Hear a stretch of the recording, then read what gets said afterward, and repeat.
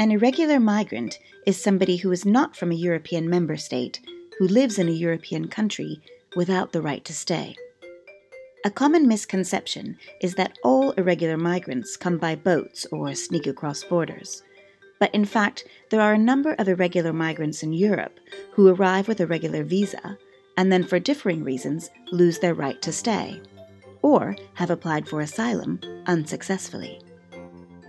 Many cities across Europe recognize that irregular migrants are a part of their population who have the same needs as everyone else. So instead of ignoring them or leaving it to national governments, these cities have worked to include them in basic services. In this film, we will explore how cities have achieved this and why they believe it is important.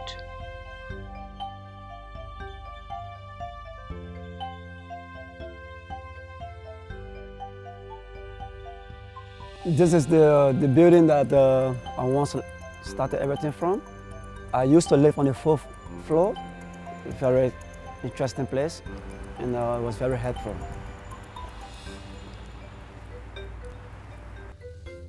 An irregular migrant can be anybody. It could be a young boy, it could be a girl, it could be an older woman, it could be an old man. What's common with them is that they don't have any right to any kind of services that normal people would have in a country where they live. Sometimes they are even what we call unreturnables. It means they're not allowed to stay in the country where they are, but they are also not in a position where they can return to the country where they came from. It is always heard that irregular migrants should not be here, so we should not uh, do anything to help them stay here or to access service or you know that providing services uh, is a pull factor for irregular migrants to come. The truth is that irregular migrants are a reality, so local municipalities have to do something about it but they are often lost in the lack of national or European guidance telling them what to do. Here's the, the main entrance and um, here was my, my door and uh, we was living here uh, one, two, three, three families. Here's the, the living room. Before I was given this opportunity to start living my, myself in here, I was living in a, in a shelter, like a refugees camp. And uh, later I was put out out of the center that man, when they put you out, that means that your, your asylum procedure is over. And then I was living on the street. A migrant with an irregular status cannot work and is very often excluded for the provision of public services, which means that irregular migrants are often in a condition of destitution because they cannot officially gain an income and they cannot even be helped by local authorities or national authorities in receiving other kind of assistance. We are responsible for the whole of the whole of the population.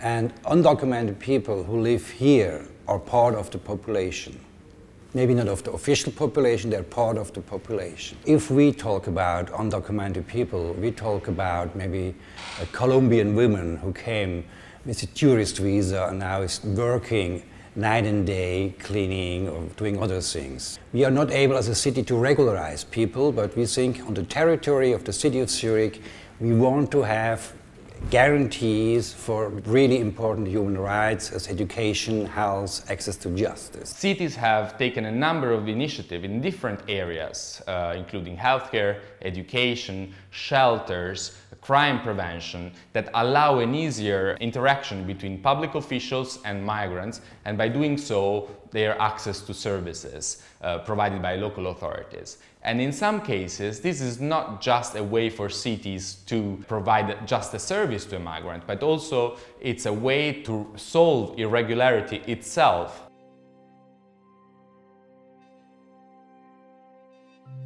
In Amsterdam we have about 180 nationalities, 1 million uh, citizens. We have also irregular uh, migrants, about 25,000.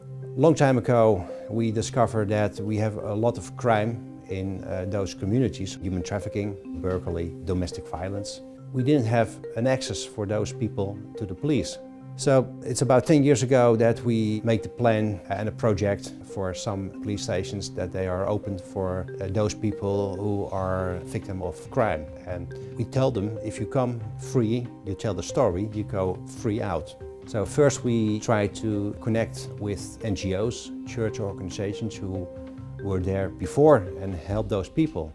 And so we found a common ground to cooperate together. So actually the churches and the NGOs, they start talking with the uh, irregular migrants and uh, telling them, well, if you are facing a crime and you are a victim, we support you to go to the police and you don't have to be afraid.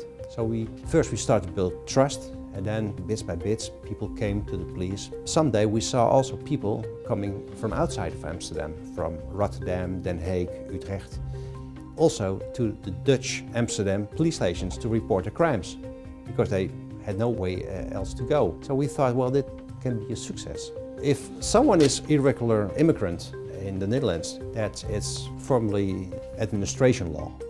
It's not criminal law. So you have to choose which one do you want to enforce. Do you want to enforce the criminal law or do you want to enforce the administration law? But for us as regular police, let I call that regular police, we want to tackle crime.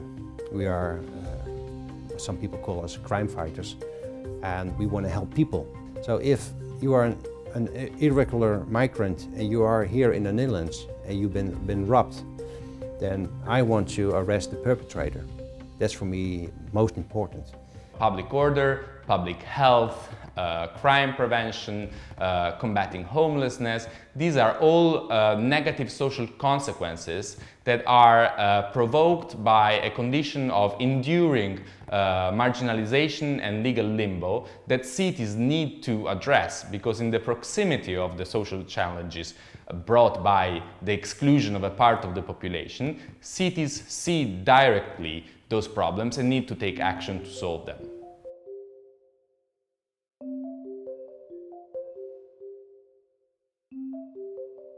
Today, at this moment, we are on the highest number of uh, residents uh, with uh, a different passport in the city of Barcelona in history. Most people arrive here in a, irregular situation. Maybe they enter European Union in, with a tourist visa, by plane usually, and they overstay with the objective to work uh, in, in Europe. So they don't return to the country of origin so they become irregular migrants.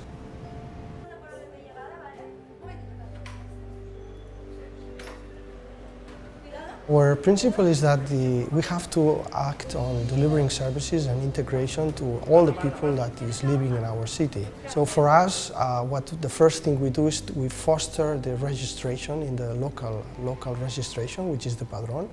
One, once people is registered, they legally become uh, neighbors of the city. It is a legal status, local legal status, not state status. As neighbors, they are allowed to have access to local services. Can be a library, can be social services, can be sport facility. But the main problem of the eh, irregular migrants is regarding their legal situation. So they need legal advice on how to uh, find paths uh, to get uh, residence permits. Uh, the design of SAIER is in cooperation with the NGOs. We have a front office outsourced by the city, which is uh, composed by diverse staff with uh, capacity to speak three or four languages, every person, who identifies, they identify the needs and demands of our citizens. It's on the interest of everybody to have people that speak the language of the city, the Catalan and Spanish, or they have jobs that can contribute, pay their taxes, and be future citizens.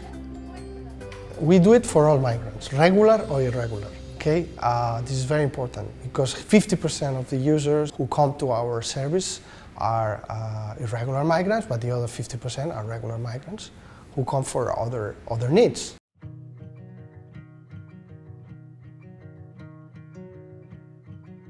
I'm working um, as a doctor for the health department of um, the city of Frankfurt. And um, one of my tasks is to lead the humanitarian consultation hours. Um, this is for more than 17 years a program to help irregular migrants and um, other people without health insurance with medical help. Frankfurt is no, more or less a very open-minded city and um, the slogan of the city is the city of diversity. From all centuries, there is a huge number of migrants in the city. The estimated number is 20 to 40,000. All migrants, they cannot easily access our health system in Germany because um, you have to be registered and without a regular job, you cannot get um, health insurance.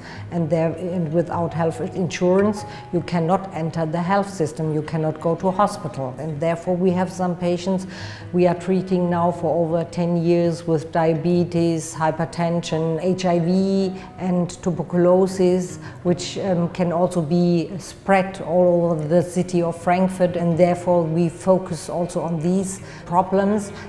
We saw that the children are without the necessary vaccinations, which is um, really a big problem because um, like measles is um, still all over Europe and, and therefore we um, had them, we have once a week, we have a special consultation hour only for children.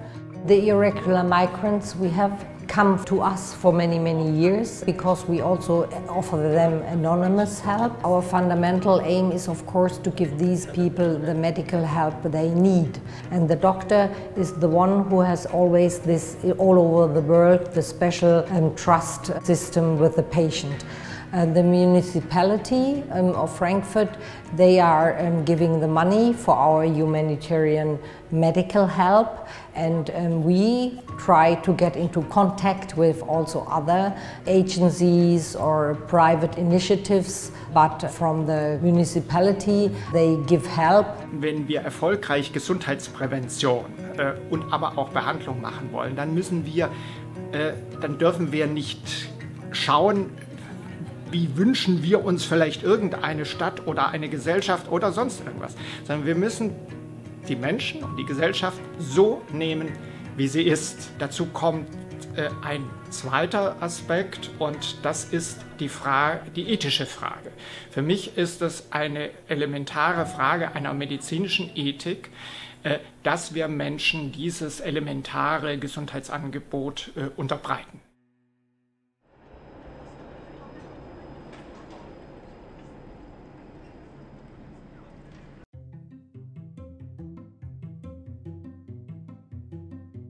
Ik werk op een school met zeer veel kinderen in een kwetsbare situatie. En wij maken eigenlijk geen onderscheid tussen kinderen met of zonder papieren. Natuurlijk is dat onderscheid er wel en we zijn daar wel gevoelig voor. Maar in het beleid dat we hebben op school of de keuzes die we maken of de dingen die we aanbieden aan kinderen, um, zit er daar geen onderscheid in. Uh, bijvoorbeeld als er een nieuw kind bij ons op school komt, dan uh, praten wij met de ouders, praten wij met dat kindje en proberen wij in te schatten hoe dat een situatie is.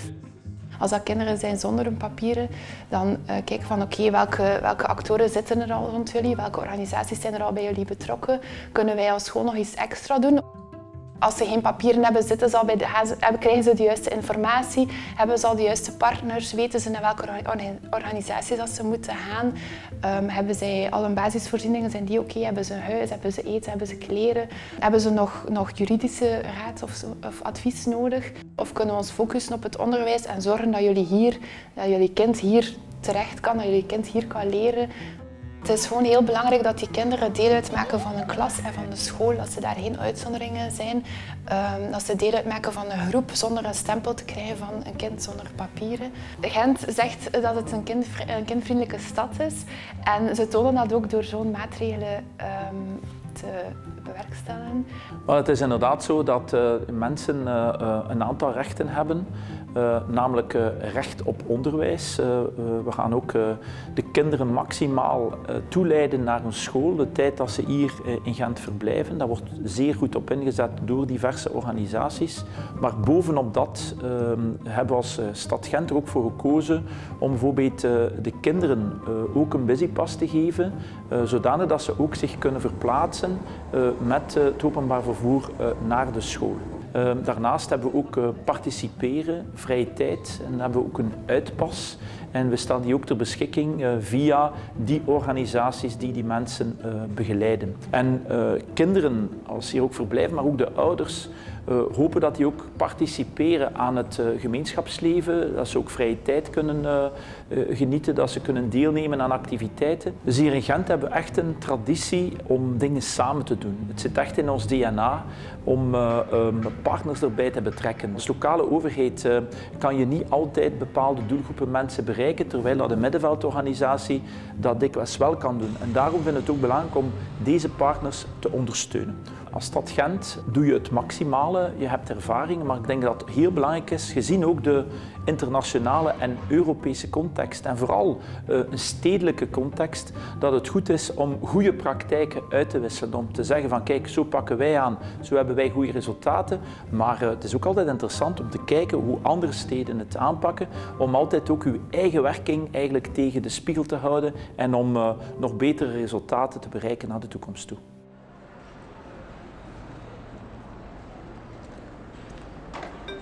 Utrecht calls himself uh, a human rights city.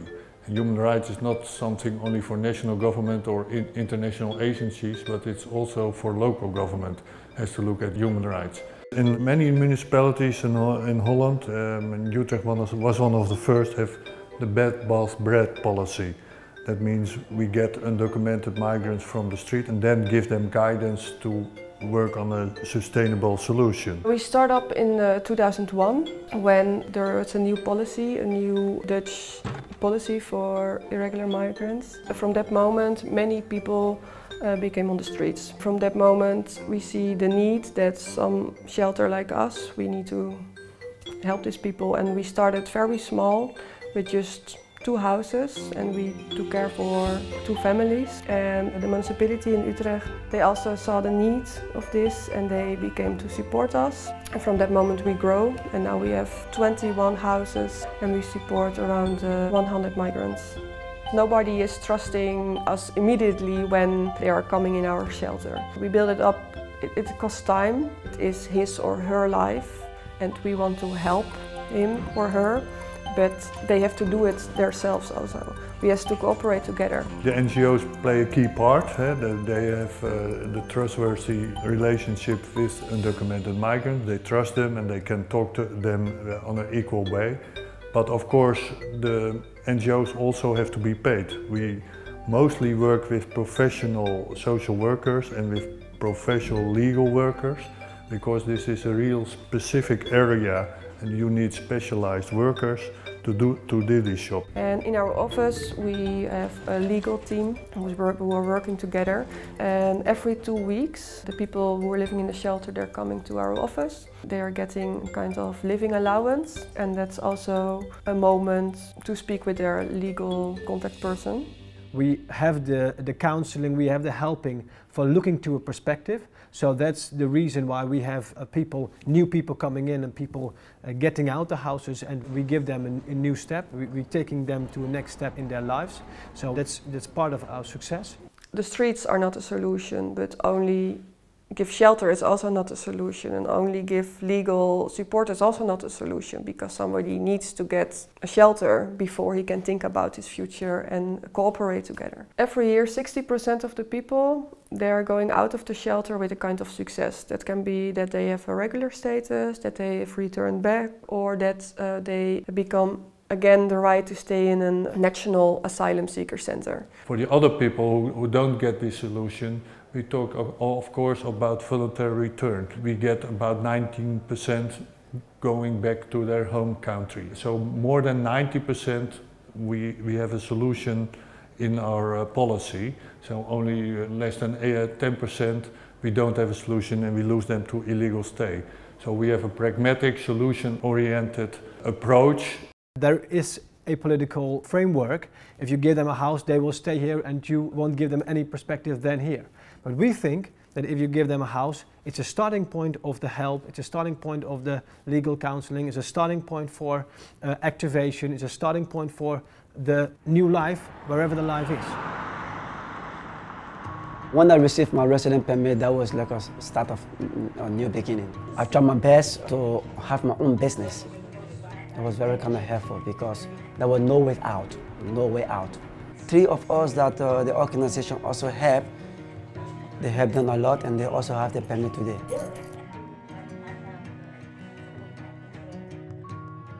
I would like to ask my colleagues, do you know how many undocumented people you have around you or in your city?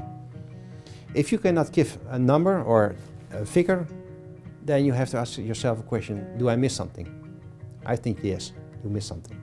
If you have crime in your country and, and a number of those people in your society is not willing to talk with you because they are afraid, is that what you want? If the answer is yes, well, let it be. If you say, well, I want to connect with society, then you have to connect with all of them uh, countries are blocked and there's no legal way to enter. But this is a paradox. This block generates irregularity because the markets, they need migrants, they need uh, workers, they need people. So at the end, uh, they find the way to hire people in an informal way. So this is not good. What's important is that people are getting the, the basic needs like shelter, food, clothing, but you have to combine it with, with support, with legal support, with guidance, because otherwise there's still no solution. So don't look anymore to our uh, political ambitions, don't look anymore to our political backgrounds, but just look forward to the things that works. And if you have an approach that is effective, whatever political situation there is, and you can sell it. Our idea is that the people who's arriving now, that maybe are in a very weak situation, someday they will be citizens. So uh, we want to help and accelerate the process as soon as possible. Otherwise, we also have the risk of creating segregation, creating uh, conflicts, creating inequity, creating the future of problems in the day-to-day -day life. Our experience is that the irregular today is the future regular tomorrow. So as soon as we act, as soon as we react, is better for all.